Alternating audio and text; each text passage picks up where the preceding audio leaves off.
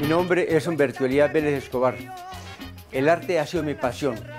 Por eso es la única manera de sacar a flote miles de ideas creativas en pro de la comunidad. Significativamente durante muchos años he trabajado en las tradicionales fiestas del cacique Toné.